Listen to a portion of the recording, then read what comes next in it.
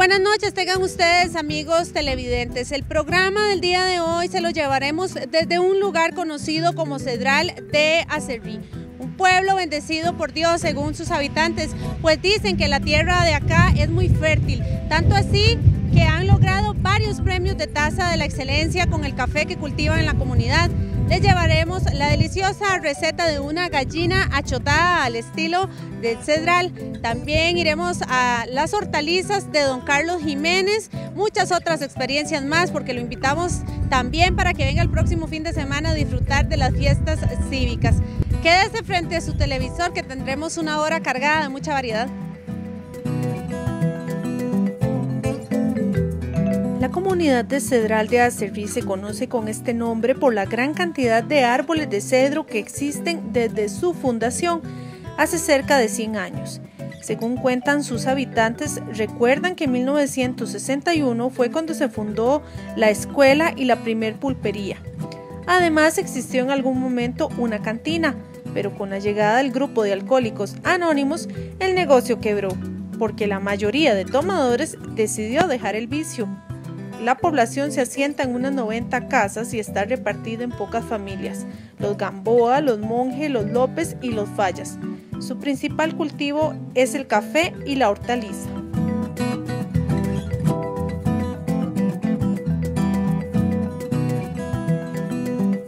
Ahora sí entramos de lleno con este lugar y después de transitar por un estrecho camino,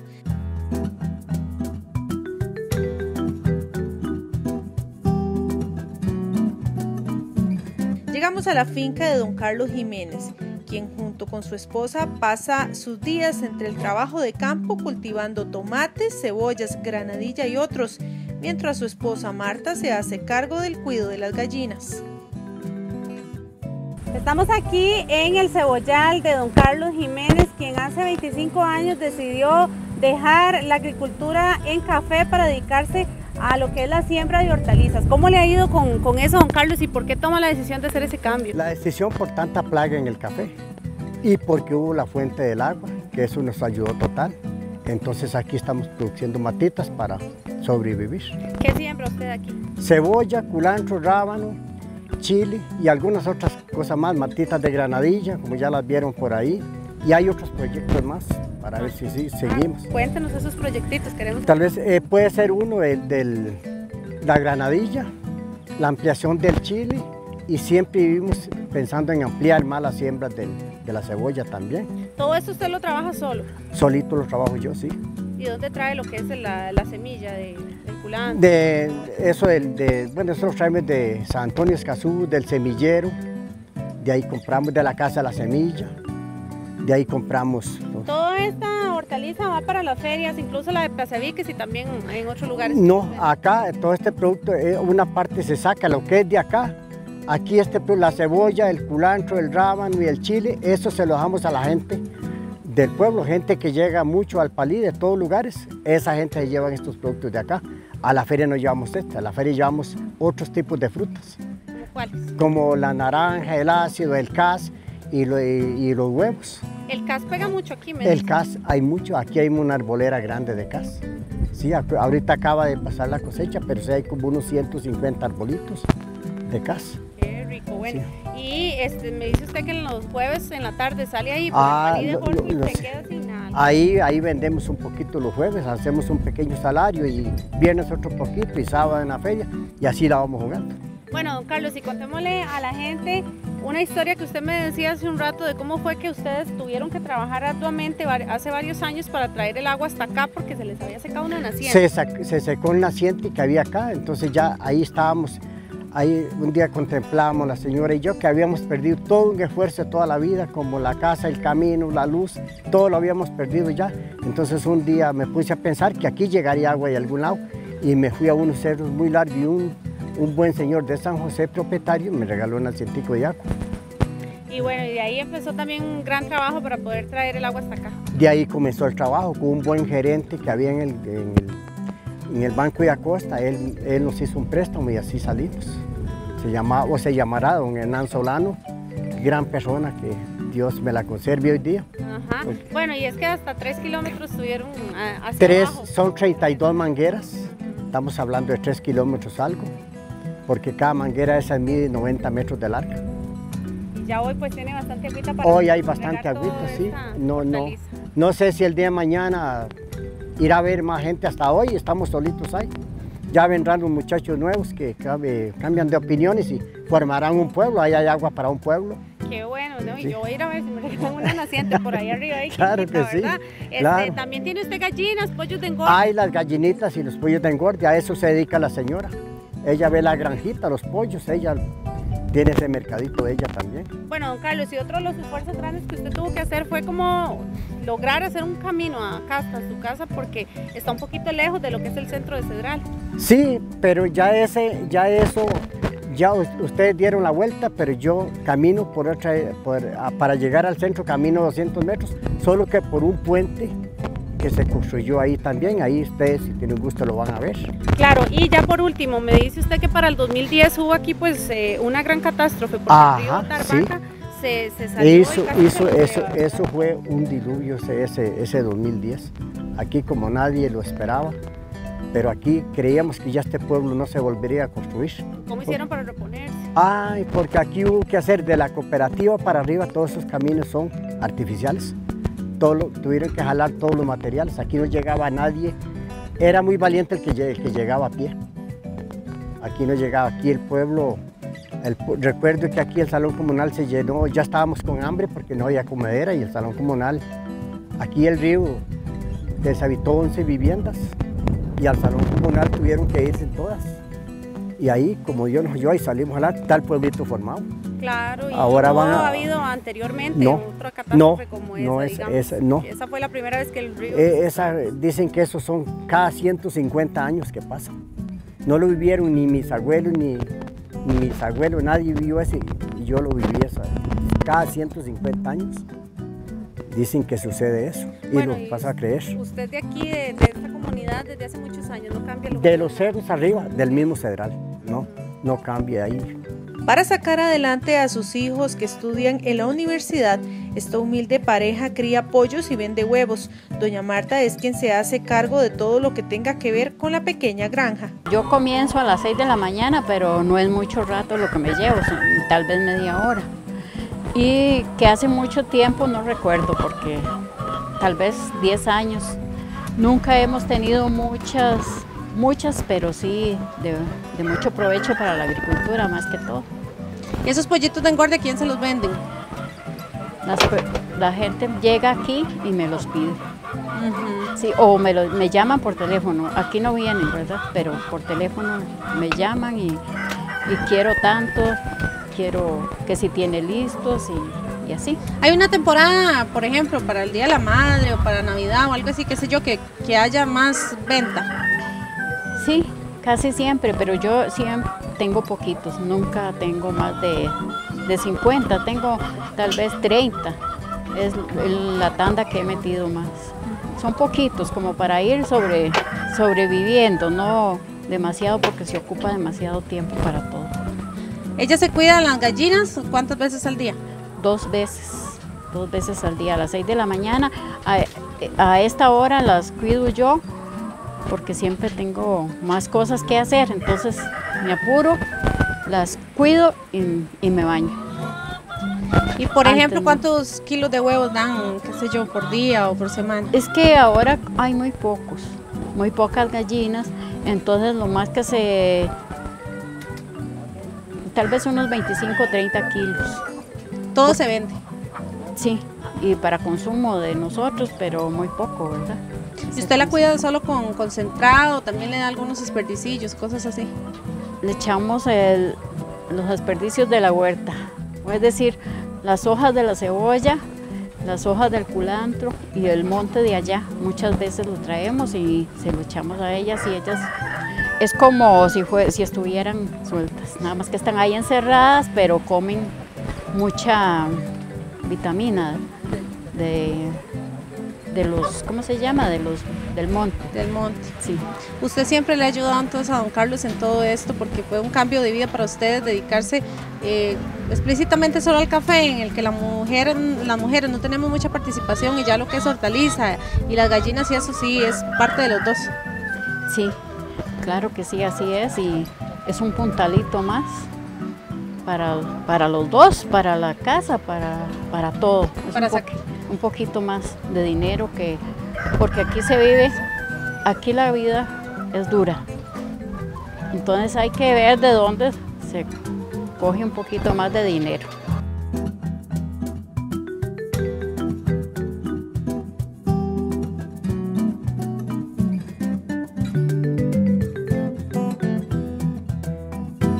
Nos fuimos hasta la cocina de la casa de esta familia y dimos con la casualidad que la cocina de leña que tienen data de unos 122 años atrás. Así es, no es ninguna exageración. Dice don Carlos que la compró en Tarbaca porque su anterior dueño estaba a punto de desecharla, pero él la restauró y hoy le sigue acompañando. Es de puro hierro y funciona con cigüeña, como le llaman.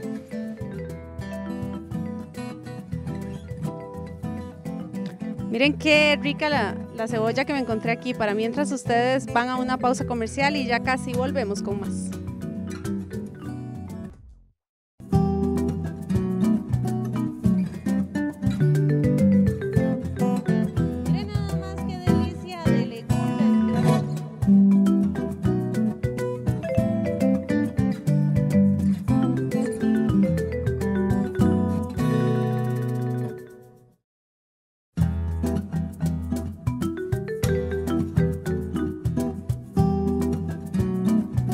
Seguimos nuestro recorrido y esta vez los miembros de la asociación nos cuentan cómo se organizan para hacer proyectos de impacto en la comunidad. Ahora me encuentro con parte de la junta directiva de la Asociación Pro Mejoras Específicas aquí del Cedral Abajo. Eh, y bueno, están ellos acá conmigo y me va a hablar Janet Hidalgo un poquito de uno de los proyectos más ambiciosos que tienen y que están llevando a cabo en este momento y es el mejoramiento de las calles. Están cementando, ¿cierto? Janet, cuéntanos de dónde provienen esos fondos. ¿Hace cuánto tiempo que vienen con esta iniciativa? Bueno, con eso venimos eh, trabajando como hace un año. Eh, se está trabajando en el encementado, pues era un, un trayecto del camino que ya estaba encementado, pero se ha ido deteriorando y entonces para eso estamos, mejorándolo en estos momentos. Con fondos propios de la asociación.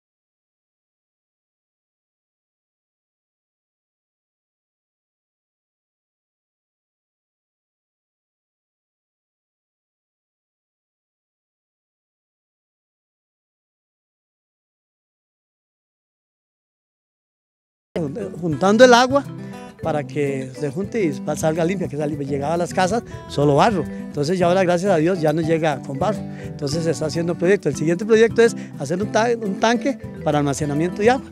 Es el otro proyecto. En cuanto al acueducto y cambiar ciertas cañerías que hay que cambiar. Después aquí hay un puente que tal vez ustedes, que ese puente se está viendo a ver cómo se logra se, logra eh, hacer nuevo. Si han venido del ministerio, estuvieron, eh, el que más sabe, del proyecto del puente, el que más sabe es ella, pues ella es la encargada de eso. Bueno, entonces vamos a volvernos acá un toquecito para que Janet nos hable, porque aquí ellos todos participan y todos saben un poquito de cada cosa, ¿verdad? Bueno, con el proyecto del puente está en la municipalidad y habían estado realizando el estudio de, suelos. Este, ya lo vinieron, lo realizaron, eso ya un proceso, es un proceso bien lento, entonces todavía no sabemos qué va a pasar con eso, pero sí es un, un proyecto que ya está en la municipalidad. Janet, ¿y qué tipo de actividades hacen ustedes para recaudar los fondos acá en la asociación? Bueno, las actividades son algún bingo y lo que se hace es las fiestas que, que hacemos cada año en conjunto con la comisión de fiestas. Y es que precisamente esas fiestas son en estos días. Denos las fechas y hágale una invitación a todo el público para que venga acá al Cedral. Bueno, las fiestas van a ser del 6 de marzo al 16 de marzo. Los invitamos cordialmente a todos a participar de ellas. Eh, nuestra comunidad los invita y los esperamos a que participen y colaboren de ellas. ¿Qué hay en las fiestas? Bueno, tenemos una cabalgata, un mototour y la ganadería chinchilla es la que va a estar en las corridas que van a ser a las 7 de la noche los sábados y los domingos. Bueno, súper bien. Así que ya saben, amigos televidentes, invitadísimos aquí para que vengan al Cedral de Acerrí a estas famosas corridas de toros que realizan en la comunidad y por supuesto también a apoyar a estos vecinos que están, como dicen, bien empunchados para sacar adelante ese camino cementado y varios proyectos que ellos tienen porque las comunidades a veces entre más pequeñitas son más trabajadoras y todos se unen. Así que sigamos ese ejemplo y, y vengan aquí a conocer y a degustar deliciosos platillos y echarse una corridilla por ahí. Como nos contaron que pronto estarán de fiesta, nos fuimos con ellos a conocer el redondel, el cual está en los últimos detalles para que el próximo fin de semana los toros de la ganadería Chinchilla hagan de las suyas en el rodeo.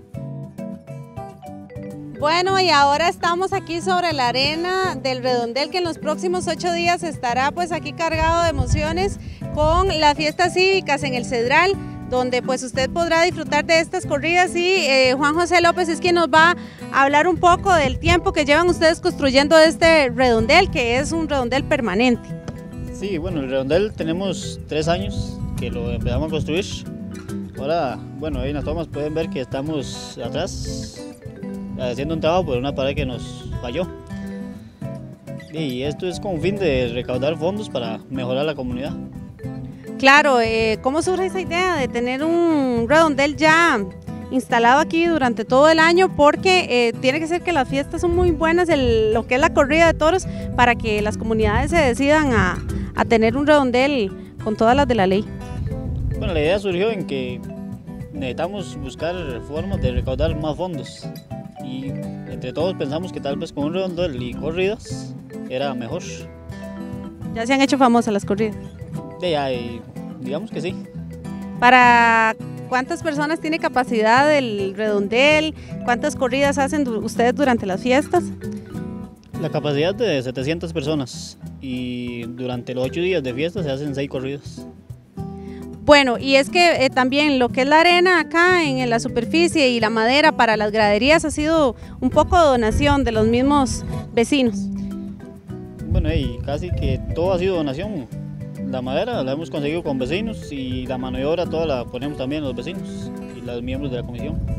Bueno, y ahí eh, año con año me decían que tienen que ir haciendo algunas mejoras que les pide el Ministerio de Salud, que es un poco estricto en este caso. ¿Cuáles son las mejoras que tienen para este año? Bueno, este año tenemos las mejoras de, de las rampas para discapacitados y también una parte donde tienen que estar ellos. Y después en el redondel hay que darle mejoras porque todos los años alguna parte que joda madera, hay que ir renovándola que eso lo exigen ellos. Bueno, ya saben nuevamente invitarlos durante los próximos dos fines de semana, sábado y domingo y el lunes de la chinga, que aquí se le conoce como el zarpe, eh, va a haber corridas a las 7 de la noche con la ganadería de Jorge Chinchilla, así que pues acompáñenlos y ayude a esta comunidad tan emprendedora.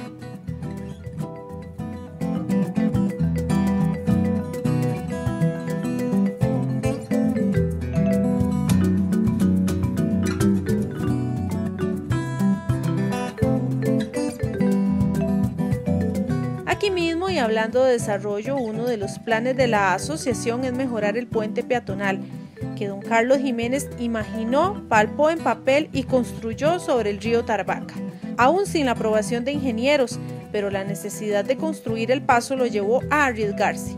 Incluso lo que alguna vez fue el chasis de un vehículo, hoy es parte de la infraestructura del puente. Bueno, amigos televidentes, y es que para que ustedes vean lo emprendedor que es Don Carlos, este puente donde nos encontramos en este momento fue diseñado por él y unos familiares eh, lo construyeron, está hecho a base de madera, de hierro y por cierto, pues es un puente muy seguro, muy firme y que ellos, como les decimos, pues solitos lo hicieron para poder tener una cercanía con el pueblo y este, esto fue después también de los estragos en el 2010 que hizo este río. Bueno, ¿cómo se le ocurre a usted esa idea, don Carlos? ¿Y cómo es que hace usted el diseño de, de un puente de esta magnitud? Porque mide casi unos 50 metros o así de largo. Sí, bueno, ahí primeramente nos agarramos del Señor y él ahí pues nos fue enseñando qué era lo que había que hacer y así lo fuimos haciendo y dos sobrinitos nos construyeron el puente. ¿Hace cuánto fue eso? Hace tres años. En el 2010, en el 2010 fue todo esto, pero hace tres años lo construimos. Entonces por aquí nos quedó muy bien. ¿Cuánto material eh, requirió para hacer esta estructura? Bueno, en realidad los materiales no tengo ni idea cuánto, porque íbamos comprando por poquitos. A como yo nos ayudaba ahí, entonces no, no tendría ni idea cuánto nos costaría, cuánto sería el total de este puente.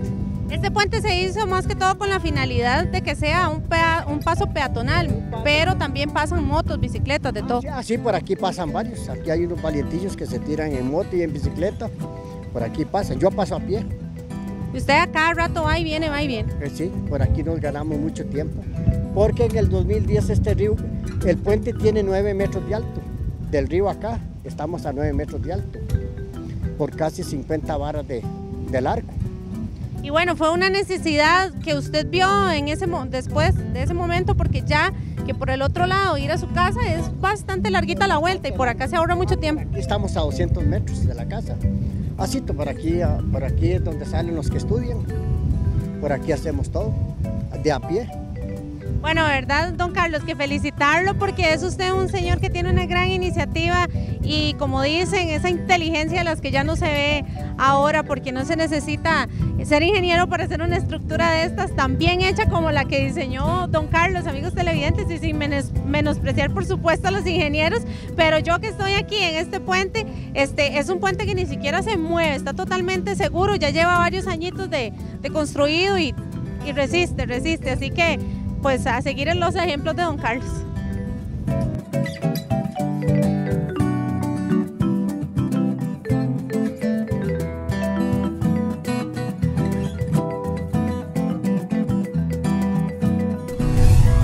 Momento de unos mensajes comerciales y ya casi volvemos.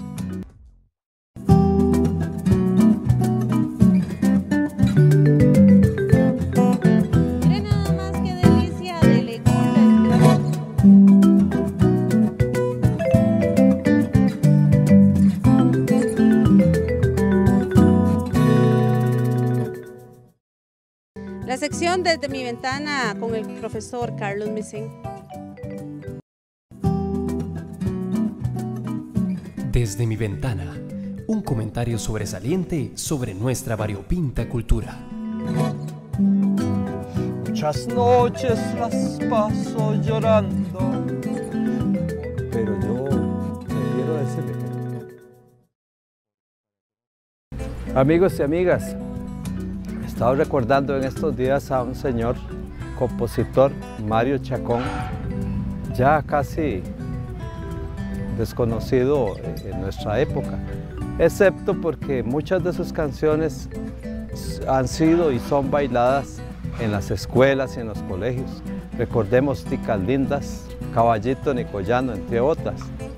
Y recuerdo que, en una, que una vez le dedicaron el Congreso de Compositores de la Asociación de Compositores acá de Costa Rica. 90 y algo de años tenía y me firmó el programa. Eh, me dijo que él ya no firmaba nada y con mano temblorosa me lo firmó. Último, creo yo, las últimas palabras que él escribió fueron su nombre. Desgraciadamente lo perdí. Lo interesante es que sus canciones más famosas de corte, por así decirlo, guanacasteco, este, y que son bailadas por el conjunto Los Ticos, pero él es originario de Escazú.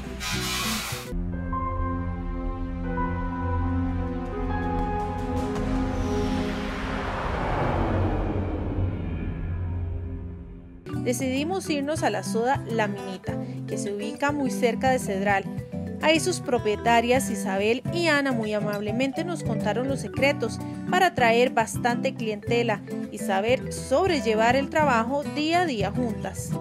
Bueno, y ahora me encuentro aquí en la soda La Minita que está en Jorco, camino ¿verdad? hacia Costa, eh, con las hermanas Isabel y Ana Segura Barca. Ellas son las propietarias de esta linda soda y también deliciosa la comida que vende aquí, lo digo por experiencia propia. Cuéntenme, eh, ustedes, ¿cuánto tiempo tienen de tener esta soda, doña Isabel, y cómo se han complementado a trabajar juntas siempre? Ocho años tenemos y trabajamos muy bien. No sé, trabajamos muy bien las dos. Antes, ¿ustedes habían trabajado ya en una soda, un restaurante o algo así? ¿O cómo fue que decidieron ponerse el puesto acá? No, es primera vez que trabajamos juntas y de no sé, fue una decisión de las dos de, poner la sodita. Bueno, doña Ana, y es que aquí la gente dice que hay un sazón, un saborcito casero delicioso que ustedes le ponen ese punto. ¿Quién les enseñó a cocinar a ambas así? Y seguro mi mamá. sí, mi mamá fue la que nos enseñó. ¿Y por qué deciden ponerse la soda? ¿Vieron que era un punto estratégico y que hacía tal vez falta aquí en este lugar? nos salió la oportunidad, nos, alguien nos la ofreció, entonces vimos que era un, buen momento para hacerlo y, nos pusimos la sodita entre las dos. Bueno, y es que yo les preguntaba que ustedes si madrugan mucho a hacer tanta comida, porque nosotros vinimos hoy bien tempranito y ya había este almuerzo, desayuno y de todo. ¿Cómo es que se preparan para hacer las comidas? No, de hecho que nosotros llegamos aquí a las 6 de la mañana y desde el momento en que llegamos empezamos a preparar todo porque nos gusta que todo esté bien fresquito. Bueno, cuénteme, este, doña Isabel, clientes de todo lado vienen aquí porque esta es una zona de paso, ¿verdad? Ahora también que, bueno, está cerrado el, lado del empalme, entonces yo me imagino que la clientela también aumenta por acá. De, no sé, nosotros desde que estamos aquí hace ocho años tenemos muy buena clientela de todo lado, de todo lado nos visitan y gracias a Dios todos salen hablando muy bien, ¿verdad? Sí, es que esa cercanía que uno tiene, digamos, con ustedes, eh, porque mientras ustedes están cocinando, están conversando con la gente, viendo televisión, eh, ¿les gusta a ustedes este sistema siempre? Sí, a mí, a mí me gusta. A los primeros días me sentía rarísima, ¿verdad? Porque yo lo sentía como... Pero ya no, ya, ya me acostumbré. Los ojos puestos en usted, como dice. Oh, sí, aquí, aquí en la espalda, lo siento. Pero hay mucha cercanía también porque la gente le dice, échemele un poquito más de sal, eh, no me le eche cebolla, todo eso. De todo, de todo le dicen a uno le dicen cosillas veillas y de todo, pero ahí vamos, ahí vamos. ¿Cómo cuáles? ¿Qué cosas vacilonas les han pasado? Ah, no, a mí me han dicho que hago un pinto hay veces muy feo. Hay veces, de verdad, una persona llega y le dice a uno eso y tal vez, pero las demás me dicen que, es, que cocino bien. Y ya, pues, di toda la vida de cocinar. Yo tengo 14 años de estar en esto ya. Sí, hace 14 años empecé con patrón y ahora somos nosotros las dos. Claro, y cómo, por ejemplo, para preparar en grandes cantidades de la comida, ¿ustedes eh, hacen todo acá o traen desde la casa? No, todo aquí. Todo, todo aquí se prepara. Aquí, desde, desde las seis empezamos. Y no, no, aquí nunca hay nada preparado. ¿De seis a seis? De seis a seis. Bueno, doña Ana, y ahora cuénteme usted también cuáles son los platillos más buscados aquí, lo más especial que usted puede decir. Pasen a Soda La Minita porque nosotros ofrecemos esto, esto y esto. Bueno, aquí por lo que más viene la gente es por la chuleta, porque dicen que servimos una chuleta muy grande con el casado. La chuleta es especialísima. ¿De dónde viene esa carnita? Esa carne la compramos en Acosta, donde echen, así se llama el carnicero. Bueno, de verdad, este, amigos televidentes, que cuando vengan acá por Jorco, si van a Costa, Mora, Puriscal, cualquier lugar, esta soda está en el paso, así cerca de la carretera y ustedes pueden pasar aquí a cualquier hora a degustar riquísimos platillos. Así que pues eh, aquí las hermanas Segura Barca, a ver si tal vez nos hacen alguna invitación a la gente, el horario, los precios. De, no, que vengan, que aquí los esperamos, que siempre tratamos de atenderlos bien y los precios son accesibles. Horarios, eh, doña Ana. De 6 de la mañana a 6 de la tarde. ¿De lunes a domingo? No, de lunes a sábado. Ah, bueno, el domingo descansamos. Pero muy bien, aquí este, muy trabajadora las señoras entonces ya saben, pasen por acá porque no se van a arrepentir, hay comida riquísima. Y es que los clientes que prefieren la comida que preparan estas señoras cada vez que pasan por allí no nos dejan mentir. Bueno, pues eh, yo como agente paso por acá mucho a visitar clientes y aquí pues le ofrecen a uno comida casera con muy buen sazón y muy ameno con las muchachas. ¿Qué es lo que más le gusta de acá? El condimento casero que le dan a la comida, realmente es como estar uno en la casa comiendo. Bueno, ¿y qué es el platillo preferido? Los picadillos, las carnes, el pollo, ¿qué es lo que más le fascina de este lugar? El casadito, con cualquier carne, el casado muy bueno. Es como estar uno en la casa almorzando, realmente para uno que está tanto fuera de la casa lo hace sentir muy bien el la, sentido doméstico que le dan acá y además conversa mientras ellas están cocinando y todo. Uno tiene la posibilidad de ver cómo, cómo hacen la comida. Ah, por supuesto, también eso le da a uno mucha confianza porque le está viendo qué es lo que le preparan y se lo personalizan porque le pueden poner más de una cosita o menos de otra de acuerdo a los gustos que uno tiene y se entera también de lo que pasa por acá, por la zona conversando con todos los que vienen acá.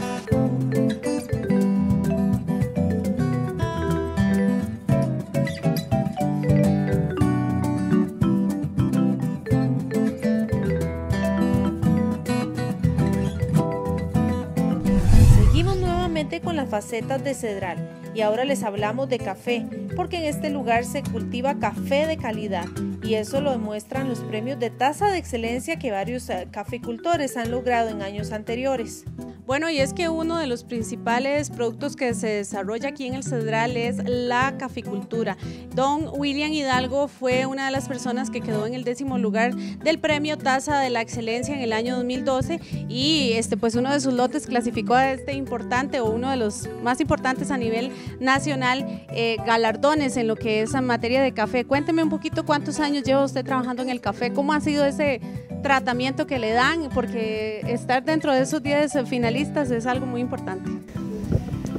Eh, toda mi vida he trabajado, digamos, en el café eh, desde pequeñito recolectando café, pero como caficultor eh, ando por ahí unos 30 años, que viene siendo más o menos el tiempo que vivo aquí en Cedral de Acerrí. pues nosotros este, el café lo que tratamos es de, de tenerle una sombra eh, regulada más que todo y este pues eh, no usar como mucho eh, plaguicidas como el herbicida para, para control de malezas y este pues hacemos análisis de suelo y nos asesoramos con algún ingeniero que nos dé un poquito de capacitación. Bueno, y es que eh, usted logró ese premio en el año 2012, pero también diferentes lotes de las fincas cafetaleras de acá de Cedral han quedado en de los primeros lugares eh, a nivel nacional en tasa de excelencia. Sí, nosotros tenemos una bendición de Dios con este pueblito Cedral porque es un pueblo muy pequeño y para en distintos años haber logrado eh, un primer lugar, otro año se, se agarró el cuarto lugar y otro año que fue cuando participé yo, se agarró el tercer lugar y el décimo lugar. Además, en el 2013, este, nosotros con otro lote que se llama Linda Vista, este, un barista a nivel mundial, un barista, se llama Peter de los Estados Unidos, compró ese lote y, y él participó en el Campeonato Mundial de Barismo y con ese lote fue el campeón mundial. Don William, acá es un poquito caliente el clima. ¿Cómo se la juegan ustedes este, con algún tipo de plaga o el trato que le, que le dan al café durante todo el año, verdad? Porque el clima caliente a veces molesta un poquito. Sí, ahorita el problema principal de nosotros, eh, creo que es a nivel nacional, es el problema de la roya. Este, pues lo, lo, que hay que hacer es a puro atomizo con, con productos eh, a base de ciprosol y también se le echa este, productos este, que le ayuden al, como multiminerales, el, el zinc, el boro, para, porque estos productos al controlar este, las plagas, pues también le causan algún debilitamiento a la planta. Y es que ustedes llegan a concursar en Tasa de la Excelencia a través de otros beneficios, perdón, a los que ustedes les entregan el café y que ellos pues les dan el crédito a ustedes como finqueros y dueños de estos lotes que han sido finamente trabajados y este café también procesado para que pueda participar. Sí, nosotros eh, el año que participé en la Tasa de la Excelencia con el Hotel Joaquín este, fue a través del beneficio de Asoproa. Asoproa es una asociación de productores de Acosta y Acerrí. Y luego con el otro lote de Linda Vista, que se participó, eh, este barista internacional, este es a través del beneficio Río Jorco. Siempre nos han apoyado, este, han estado ahí muy cerca de nosotros y pues yo me siento bien hasta el momento, tanto con Río Jorco que es ahorita donde estoy entregando. Hacemos un corte comercial y ya volvemos.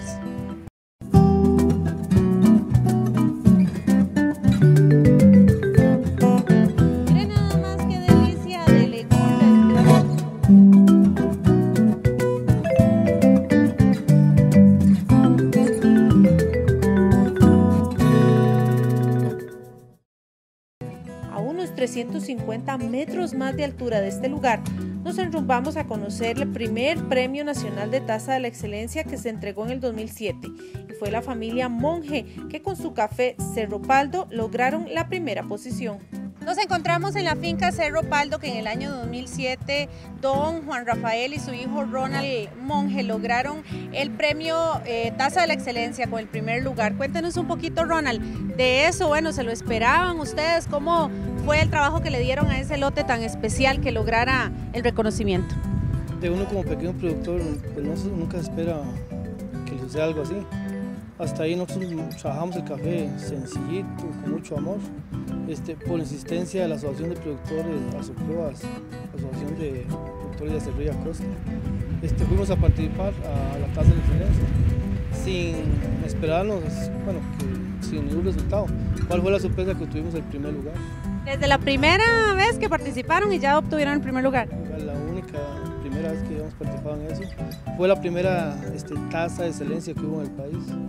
Este, de ahí nos abrió las puertas a todos los pequeños productores, de tanto de los cantones de Ría Costa como el resto del país. Y de ahí pues ya nos nació un nombre, nuestra marquita de café y, y vamos luchando día con día. Bueno, a ver si se puede saber en cuánto vendieron ese café eh, en el 2007. Me imagino que les pagaron un precio altísimo por esas fanegas. El café en ese momento logró el, el precio de 21.35 dólares la libra, más o menos alrededor de 1.120.000 colones por, por quintal. ¿Siguieron ustedes participando? ¿Se entusiasmaron más a procesar ustedes mismos eh, eh, su café? Este, participamos en dos ocasiones más, pero ya ahora se ha vuelto más difícil competir ahí porque ya existen los laboratorios, entonces como que no hay competencia de café puro con café puro, sino ya están las mezclas, entonces ya es más difícil. ¿Cree usted que aquí, bueno, que aparte de la altura, que estamos a más de 1700 metros sobre el nivel del mar y que otras características en el café de acá influyen? Cedral es una tierra bendita que aquí todo es bueno, cualquier hortaliza, cualquier fruta, para el café, este, hay varios productores que están regando café fino y todos los cafés tienen tazas diferentes y solo tazas buenas. Una de las metas de ustedes precisamente es lograr poner un pequeño micro beneficio eh, para ustedes procesar aquí ya desde la finca el, el, café que van a exportar. Sí, vamos luchando ahí poco a poco contra viento y marea este, para poder montar un pequeño micro beneficio. Este, por lo menos para en primera parte del proceso de, de chancao. Bueno, muy bien, y también aquí don Juan Rafael, que nos quería comentar que esto, aparte de, de, ustedes dos, también hay otro de sus hijos que está con ustedes trabajando arduamente en este cafetal para seguir logrando esa calidad. Pues no de los, otro de los hijos, hay varios hijos, pero en el, cuando pegaron ese premio, la tasa de la excelencia, estaba Ronald y, y Luis Manuel, otro de mis hijos. Pero en realidad aquí estamos, de sí, somos seis hijos. Y yo, ah, pero ya unidillos así, habemos más o menos cuatro, ah, que es el mayor que llama Juan Rafael también. y Ronald y Luis y, y Juan Rilla. Ah, bueno, sí, Juan Rilla y somos cuatro, ¿va? ¿Cuántos Los otros años? están más a- a- estamos, a- vivimos así, pero, pero ya ahí los otros dos no intervienen con nosotros. Ok, ok, listo. Don Juan Rafael, ¿cuántos años tienen estos cafetales? Y también háblenos un poquito de las diferentes eh, variedades de café que ustedes tienen acá, porque bueno, yo sé que tienen geisha, tienen otro café que es eh, criollo. Háblenos de eso. Bueno, ya hay variedades, son varias, ¿verdad? Y, y fue una cosa que yo de mi papá. Mi papá, nosotros muy chiquitos, ya andábamos ahí con él cogiendo café y de ahí, una herencia que los dejó.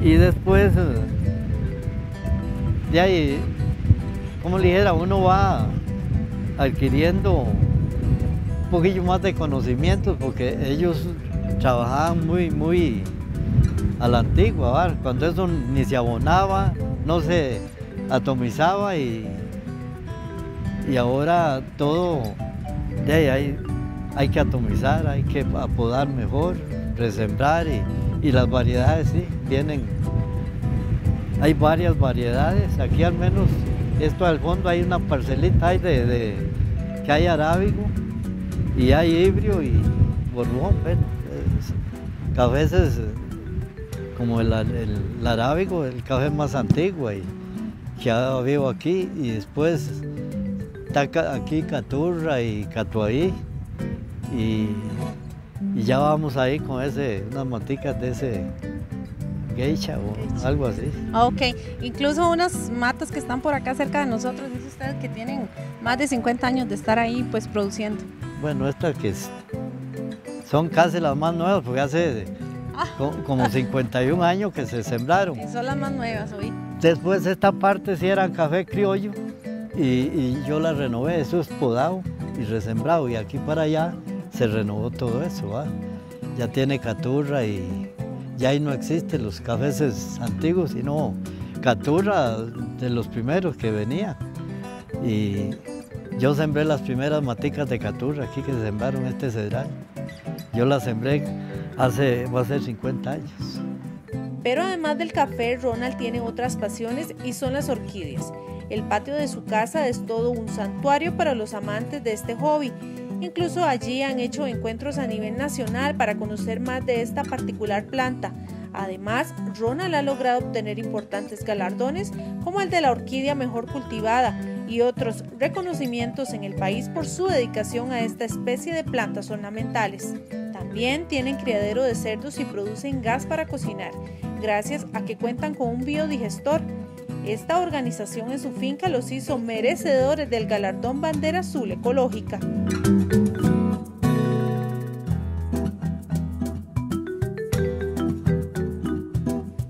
Ya a la última faceta del día de hoy, no podemos abandonar Cedral de Acerrí sin probar el famoso pollo achotado. Y es doña Marta Alvarado quien nos enseña a preparar este exquisito platillo. Sabor Criollo, una sección que lo lleva por el recorrido de las recetas criollas de nuestros pueblos.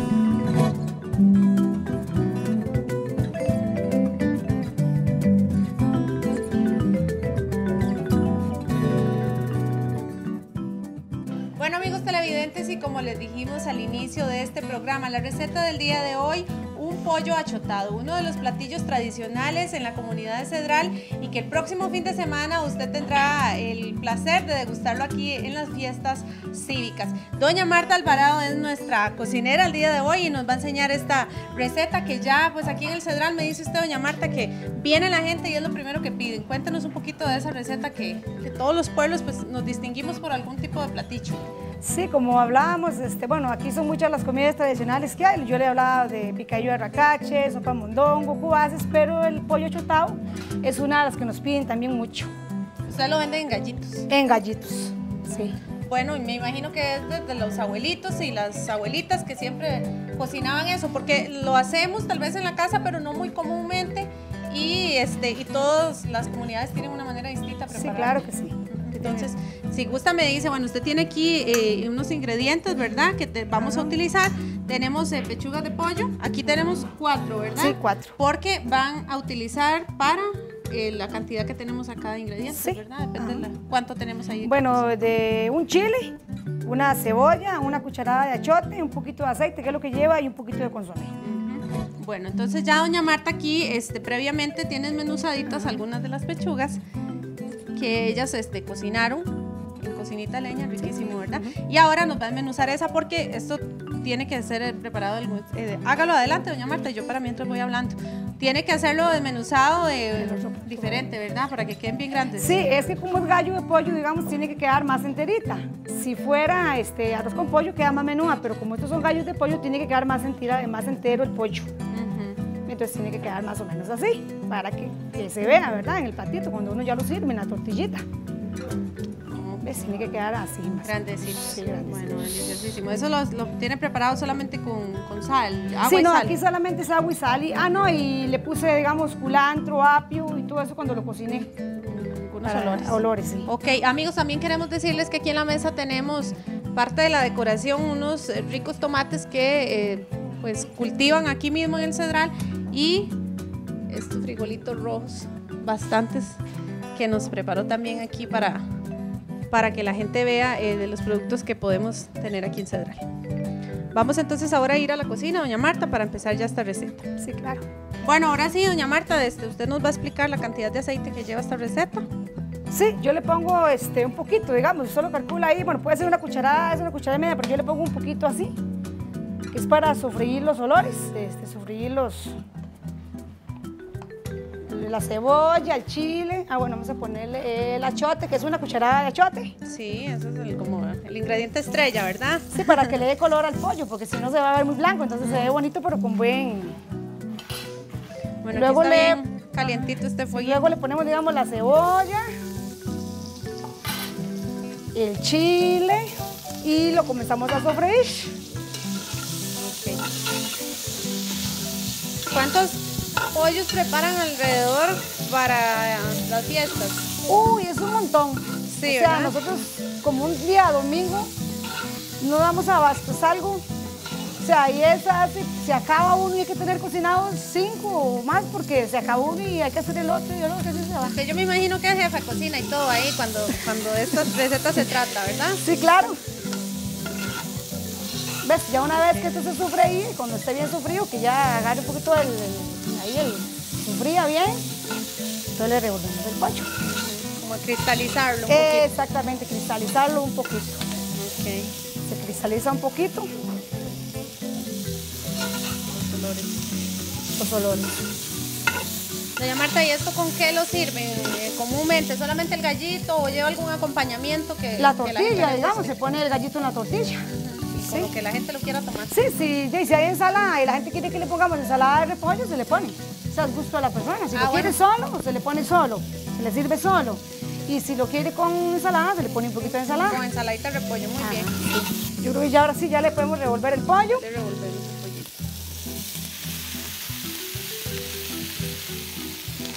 Recordemos cuatro pechugas. Hay ahí.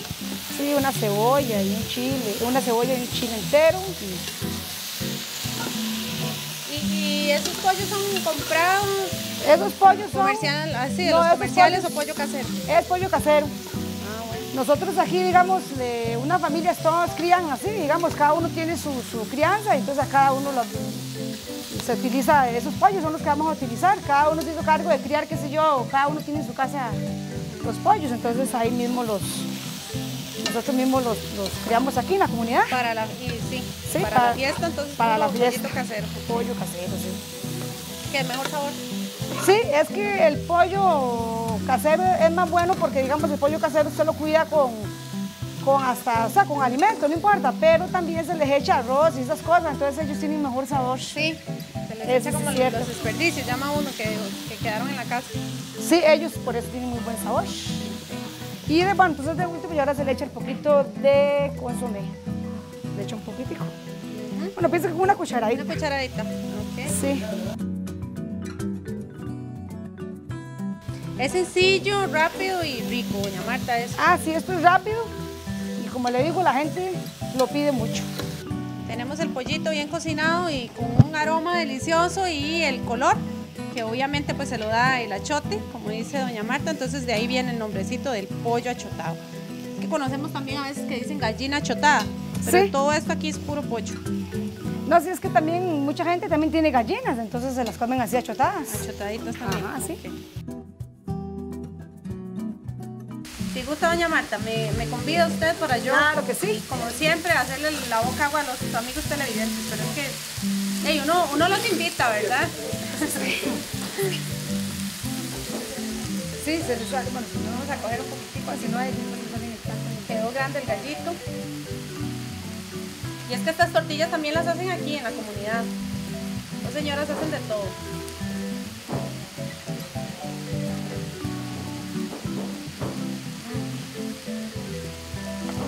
Bueno, como siempre, riquísimo este pollo achotado, así que ya sabe, véngase el próximo fin de semana a las fiestitas para que usted también, así como yo, venga a probar la receta. Muchas gracias, doña Marta. Mucho gusto.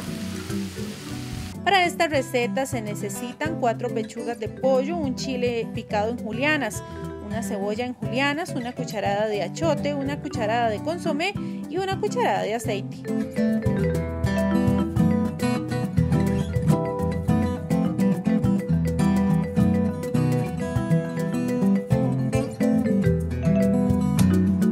Bueno, si ustedes se están preguntando qué van a hacer con ese montón de pechugas y pollo achotado, aquí tenemos a todas las personas que estaban esperando por esta rica receta, doña Marta. Con esto despedimos el programa del día de hoy, agradeciendo por supuesto a la gente de la comunidad del Cedral de Acerrí por su gran hospitalidad y pues ellos son unas personas muy simpáticas y cariñosas que nos han recibido el día de hoy acá y como siempre los invitamos este, para que vean la repetición de este programa el próximo martes y no lo olvide, una vez más les insistimos para que vengan el próximo fin de semana a las fiestas cívicas aquí en el Cedral de Acerrí. Muy buenas noches, muchas gracias.